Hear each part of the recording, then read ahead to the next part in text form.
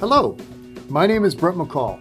I am a part of the Metra Home Theater technical support and product design staff. I am here today to discuss our brand new HDM GA1.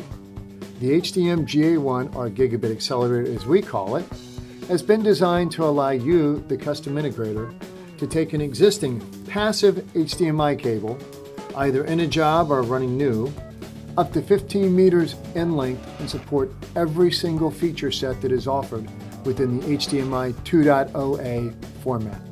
This means that with the gigabit accelerator and a passive cable, you can now support 4K 60 444 color. You can support 4K 60 HDR high dynamic brightness. You can support any of the additional features that are authorized, such as multiple audio channels, on a cable up to 15 meters in length.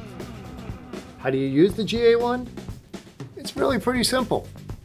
You take the display side of your passive HDMI cable, you connect the GA1 to it, you then run up to a 2 meter jumper cable from the GA1 to your display, and connect lastly the USB cable that's included in the GA1 package. Once that is done, turn on your sources and you're ready to go. It is really that simple. The HDM GA1 will absolutely take you to where HDMI 2.0a can go. Thank you.